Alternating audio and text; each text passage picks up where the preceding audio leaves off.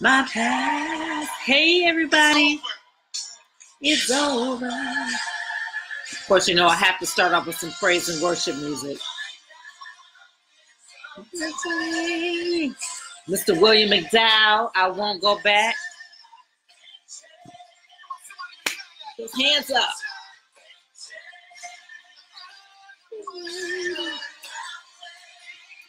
All right. You know, they're funny about us playing some of their music. Um, so they make, you know, it may cut in and out, but I'm only gonna play like a minute. So it's five o'clock, so I won't even play that. But let's just go through this chorus part right here. I won't go back. I can't go back to the way it used to be. I know that's right. I love me some William McDowell, guys. Hey! Welcome to Marriage and the Single Lady. I'm your uh, Bible study teacher, Zondra Wilson. I'm so excited, of course, to be here and to continue teaching from restoration. This is a journey of faith in obtaining and restoring godly relationships. This is from my um, um, bestseller on Amazon. So go on Amazon, cop your copy. You can get it free on Amazon Prime, or you can get your copy on Blue Skincare or Amazon, or if you see me in the streets get your copy of Restoration. So what we're doing is we're going through the entire book. So we're now at week 25. Husbands love your wives. you know, all of this stuff is just super deep. But anyway, guys, if you like the content of the teaching, be sure to like, share, tell your friends about it, invite them to the group. Let people know we're here every Monday at 5 o'clock from 5 to 5.30 with the mini Bible study lesson. I do not mind having you guys. Um, I can actually chime you in live if you want to co-teach some of the classes, or I can let you teach some of the classes. So let me know. This is a, a, a joint effort in Christ as long as God is leading me to um, have you on. Um, of course, I would love to have you on. We, the Holy Spirit dictates this entire platform. Okay, so we're gonna get started. Gonna get started. I love, love, love being here teaching you guys. So tonight's class, of course, is called Husbands Love Your Wives. So we're gonna just dive right into it. So if you can bow for a word of prayer. Well, Father God, I once again thank you. I thank you, thank you, thank you just for allowing me one more opportunity to be able to teach your word, God. I ask that you remove Zondra and just allow the Holy Spirit to rule, rest, and abide in me, God. Just allow your teaching as to how you would want this to be taught to go through, Father God. I ask, Father, that if I say anything in error, Father God, and for whatever reason miss it, that I'm corrected in love, God, that I can go forth and correct whatever is said that's an error. Because, God, uh, the bottom line is that your word is taught, your word is truth, Father God, in the Bible rules over any other book that we have for this group. So, Lord, although we're teaching through restoration, Father God, the Bible is the primary textbook for this Bible study for marriage and the single lady. I thank you, Lord. I lift all of this up to you. Father, for all of those who are going to join this live broadcast, I ask that God that their hearts are open to receive your truth, Father. And for those who are going to watch it on repeat, Father, and for those who are on YouTube, Father God, that their hearts are open and their minds are renewed, Father God, from your word and from the lesson tonight. I lift all of these things up to you in the mighty name of Jesus. I do pray. Amen. Amen. So, everybody, again, we're teaching from restoration and we're going to just jump right into it. So, tonight's class, Husbands Love Your Wives. Now, that just seems pretty self explanatory. It seems pretty obvious. Like, why would you be married if you didn't love your wife? So, let's get into see what Paul has to say. We're to, um, our lesson tonight is come from Ephesians 5 25 through 33. And I'm reading from the New International Version. Husbands, love your wives, just as Christ loved the church and gave himself up for her to make her holy, cleansing her by the washing with water through the word, and to present her to himself as a radiant church without stain or wrinkle or any other blemish, but holy and blameless. In this same way, husbands ought to love their wives as their own bodies. He who loves his wife loves himself. After all, no one ever hated their own body, but they feed and care for their body, just as Christ does the church. For we are members of his body. For this reason, a man will leave his father and mother and be united to his wife, and the two shall become one flesh. This is a profound mystery, but I am talking about Christ and the church. However, each one of you also must love his wife as he loves himself, and the wife must respect her husband. Now, I don't know if you guys caught this right off the bat. He devoted twice as many words to loving your wives as he has to women respecting their husbands. And we're going to dive into why Paul, you know, uh, wrote it this way. How should a man love his wife? Paul tells us, right? He should be willing to sacrifice everything for her. He should make her well being of primary importance. He should care for her as he cares for his own body. No wife needs to fear submitting to a man who treats her in this way. We could just stop right there.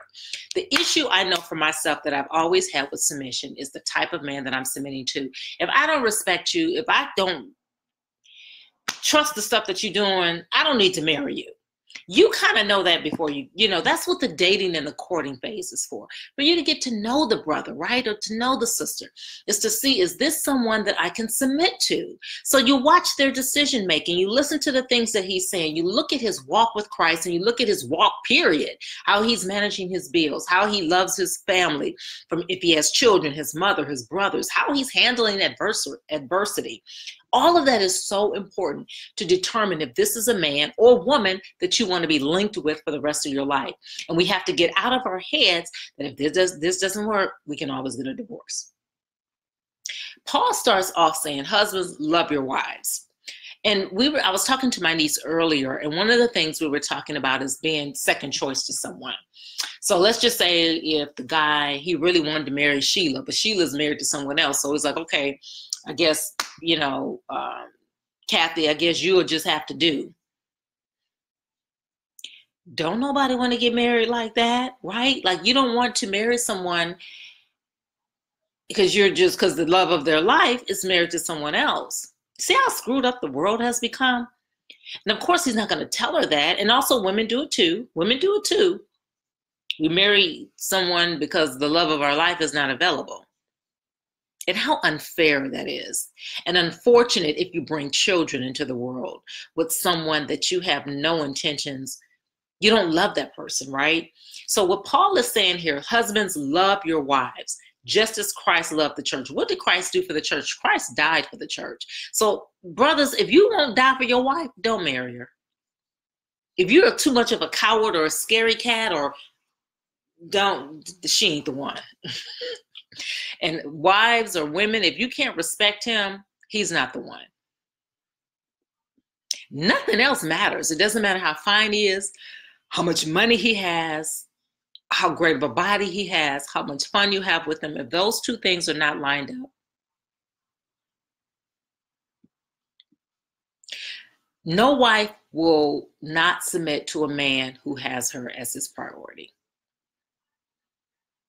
The union of husband and wife merges two people in such a way that little can affect one without also affecting the other. Oneness in marriage does not mean losing your individual identity in Christ. Instead, it means caring for your spouse as you care for yourself, learning to anticipate his or her needs.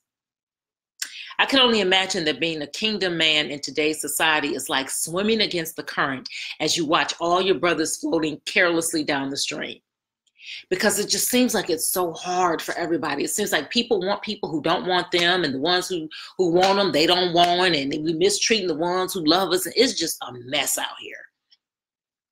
And we we we're not necessarily praying. I'm a big believer in praying. If you see a brother or a sister that you like, you know what I'm saying, then you pray and say, Lord, is this someone? You know, let the spirit speak to your heart before you just go right up and just dive into any type of communication or relationships with anybody. We really just don't do that anymore. We just kind of go with the flow. And I know I'm guilty of that. I tend to have relationships with people that I just generally like right? And I think we all do, but there are some relationships that God may um, ordain us to be a part of that we may be the we may be the person that's giving, and maybe in that relationship, we're just strictly the giver. There will be other relationships where we're strictly the taker. It just depends on the dynamics of the relationship. And I, an example would be if it's one of my um, young kids, you know, if it's a young, like I have a one guy he's a young kid. He, you know, that relationship is strictly me giving. He's asking for advice or he's asking for scriptural verses or he's asking for something, um, you know, uh, about his life. It's strictly that.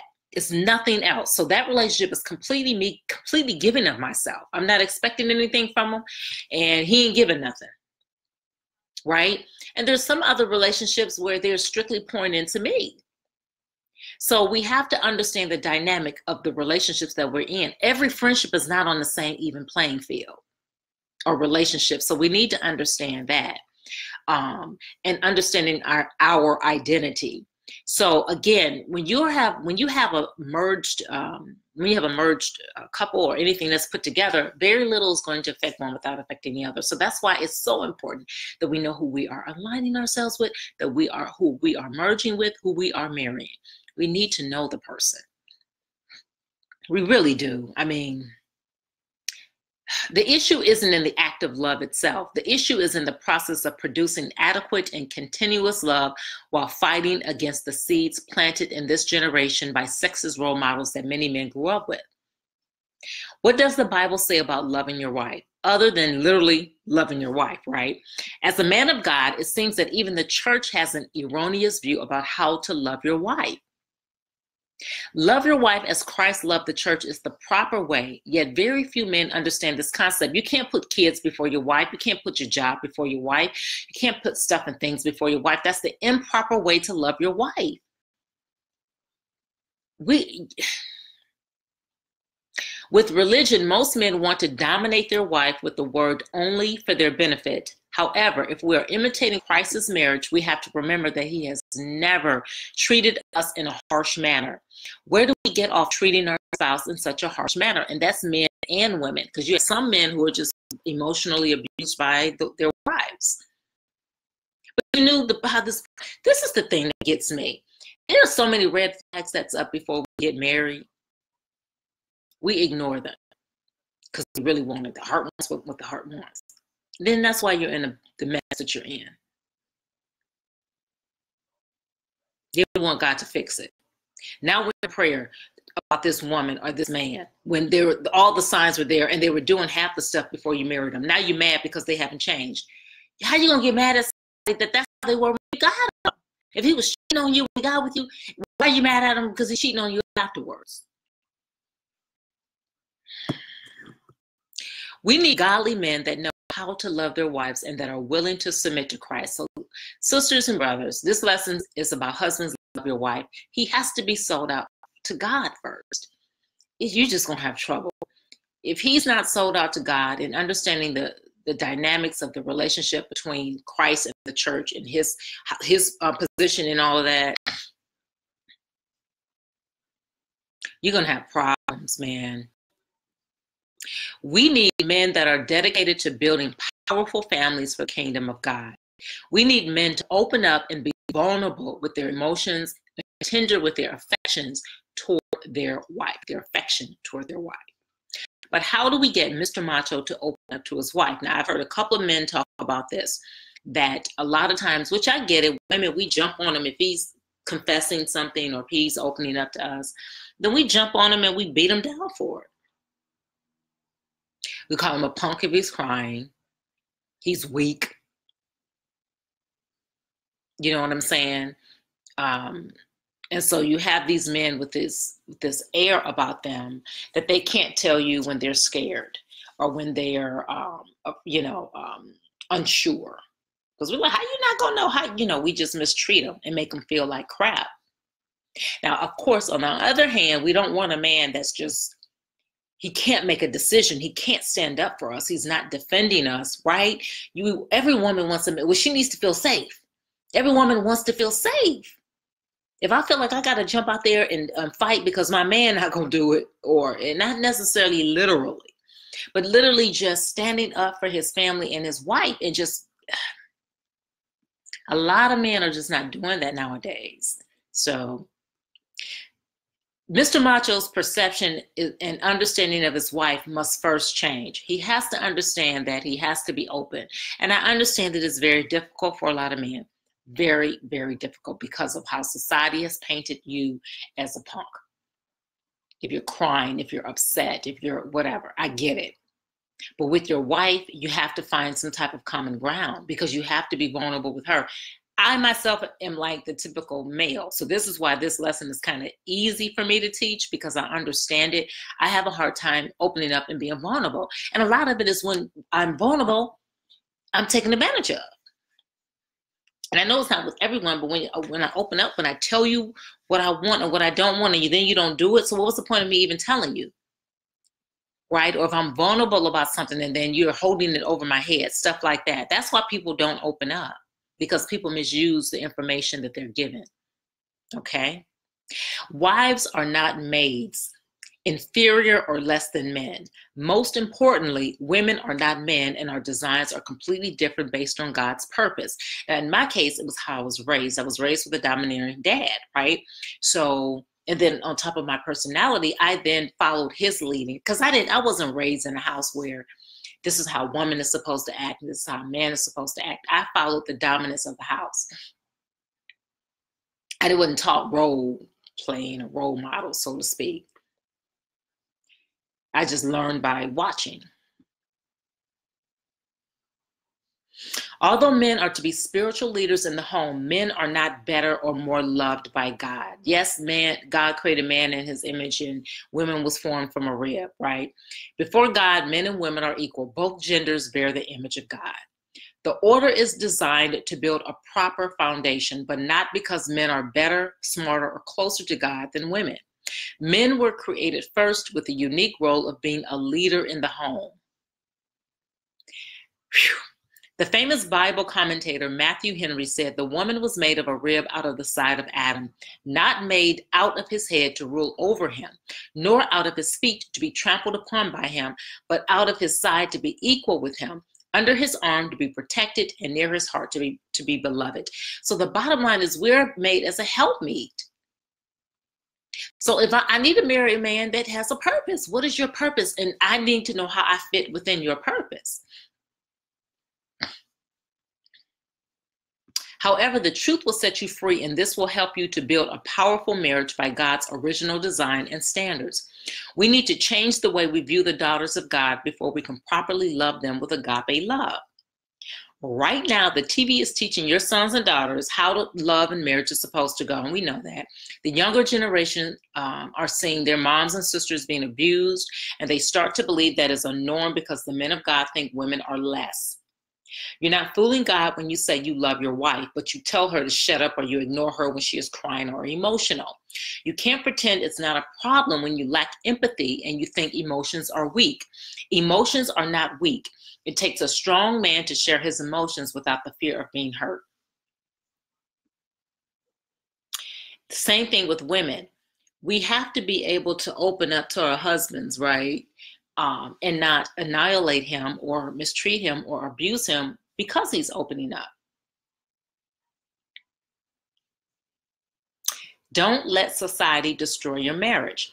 Society teaches men to be sexist, so they will be destined to have destructive relationships. Men don't cry.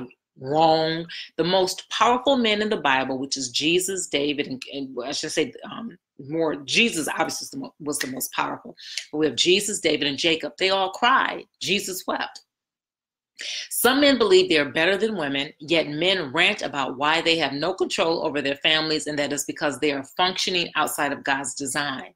It wasn't meant for the man to come in and just rule over and to take control um, of his family per se. He's the head. He's the final say so. He's the one. the The order of his house falls on him.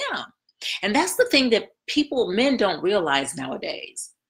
That how your children act and how your all your family, all that is it looks the eyes are pointing towards you as the head. That's any place though. It's like a CEO of a company. If the company is falling and losing money, the CEO is the first one to go. Because they're in charge of all of that. They're the overseer, they're the final decision maker.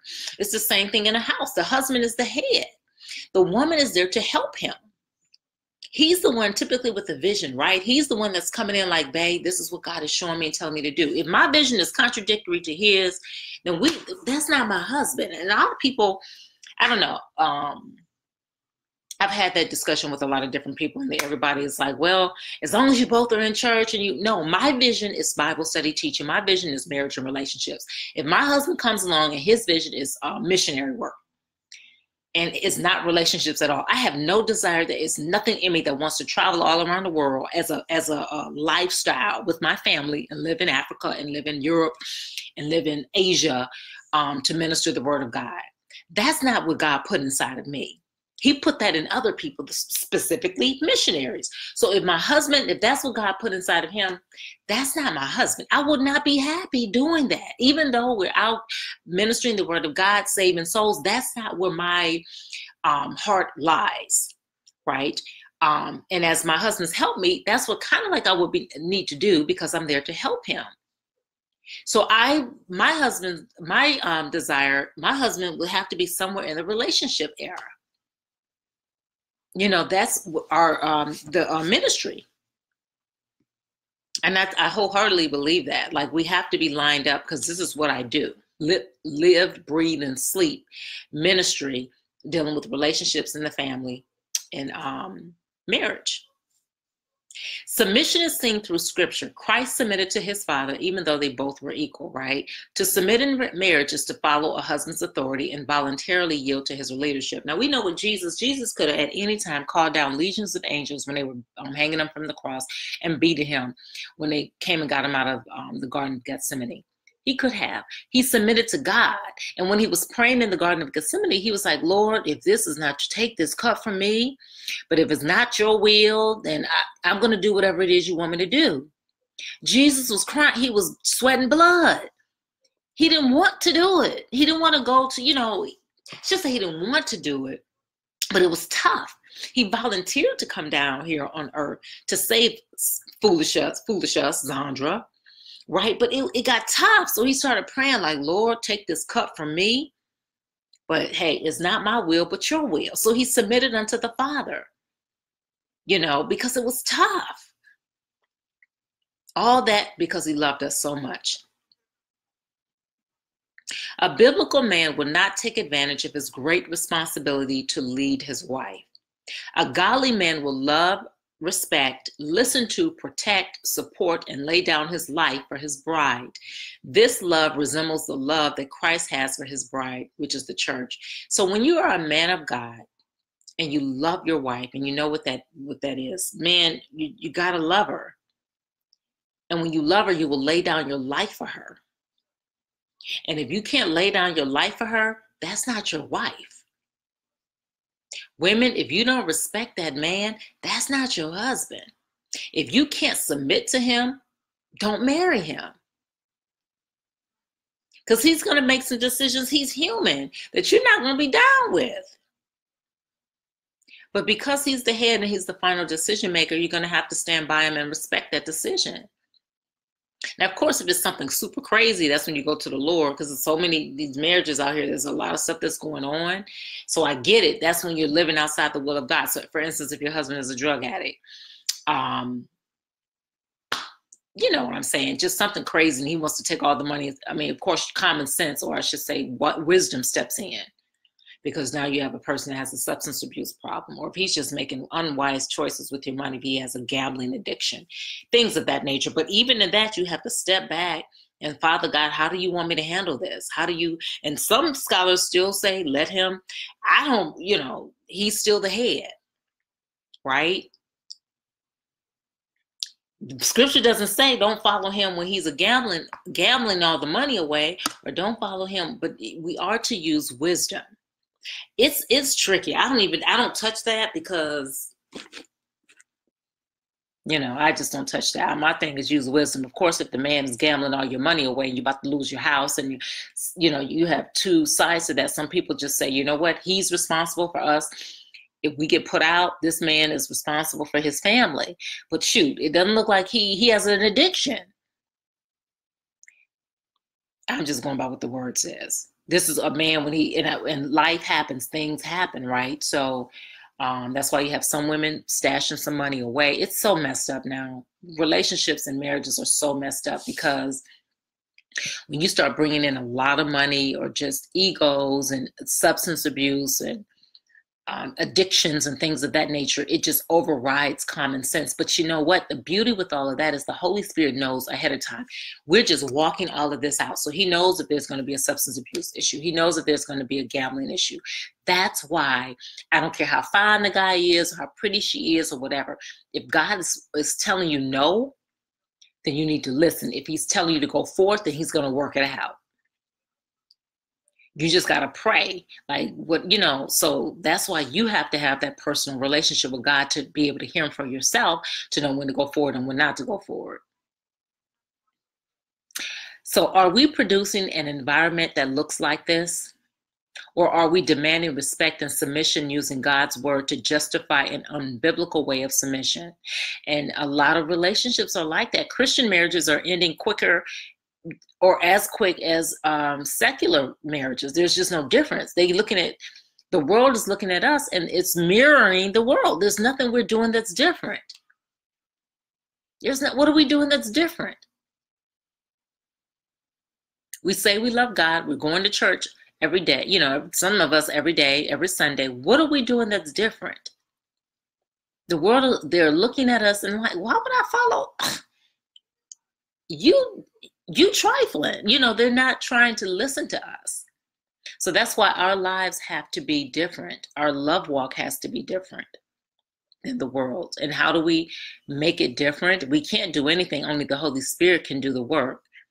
That's where we have to step back and just look at the cross and have the Holy Spirit do the work for us because we cannot do it. It's impossible to do. To love someone. We were in Sunday school this past weekend one of the teachers was talking about how one brother um, had an affair with his brother, with the other brother's wife. So basically, he had two brothers, and one of them slept with the other brother's wife. And so that same brother forgave him and went took care of him when he got sick. Now, how many of us would do that?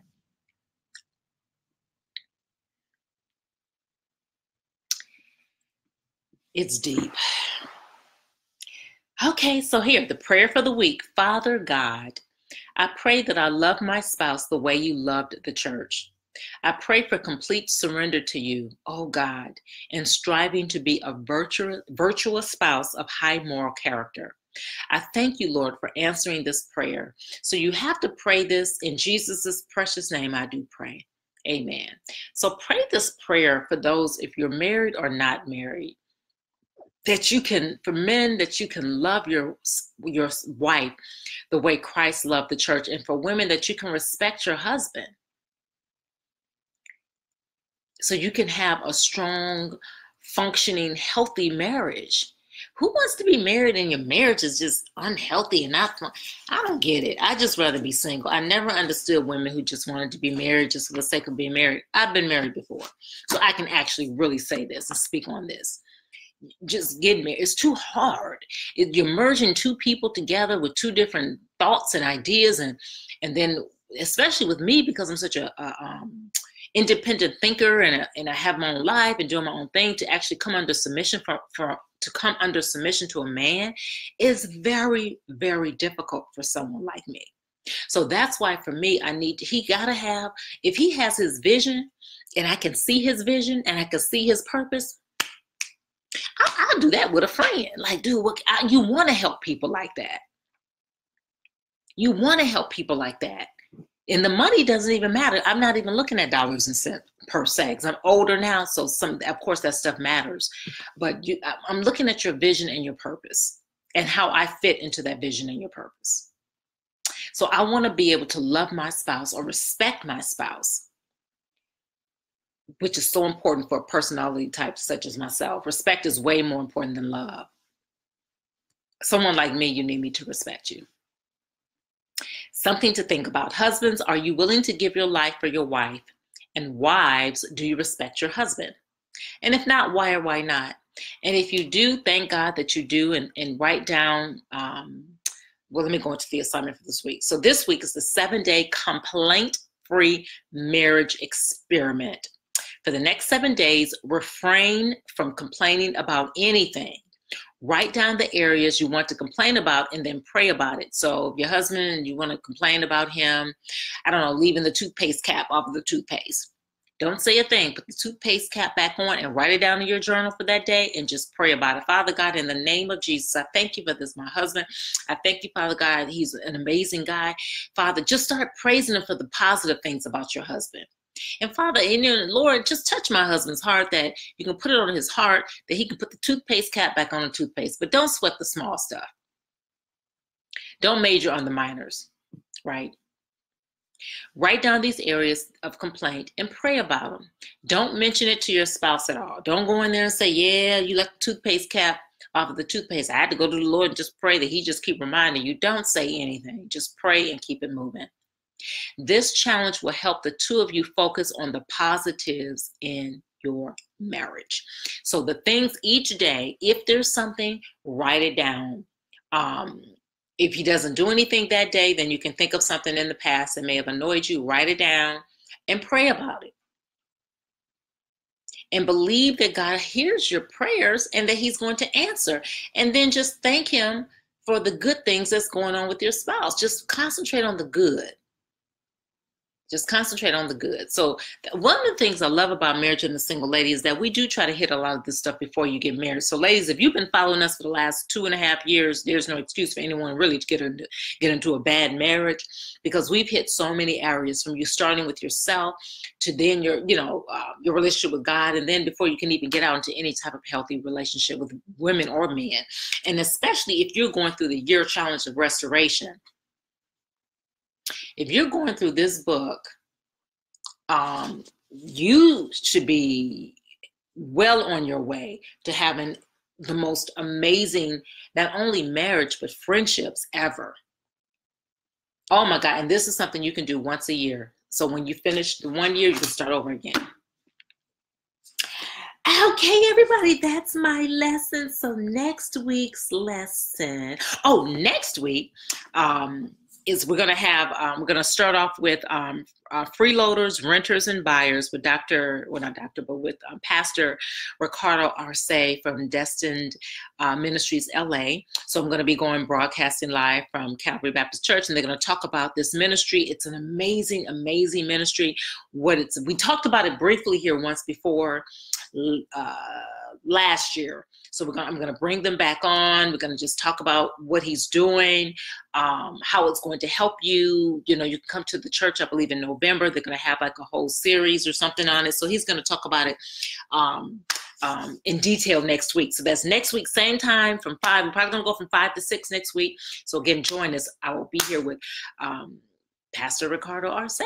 Okay, everybody. Until then, see you next week. Let me make sure I don't have any questions.